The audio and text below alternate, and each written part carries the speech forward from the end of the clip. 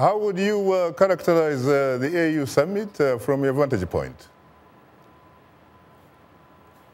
Well, first of all, this is a, regular summit. Uh, but this summit, of course, like another summit, had specific and uh, items that were discussed and also uh, reviewed a lot of programs that are going on in the Union and also agreed on the way forward. Perhaps to start with, I should tell you that the, the summit looked at you know, issues of development, particularly what is uh, in, uh,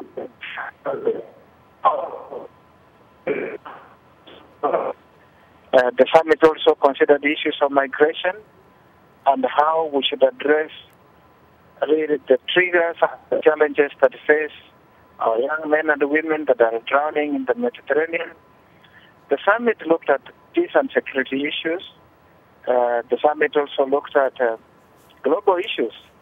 Uh, as you know, that at the General Assembly this year, they will be adopting uh, the, the, the, new goals on post-2015 development agenda, under which there will also be sustainable development goals. And as you know, the African Union has also drafted, which is very much in line with sustainable development goals. It's Agenda 2063 and so out of that, the summit has also developed first 10 years of implementation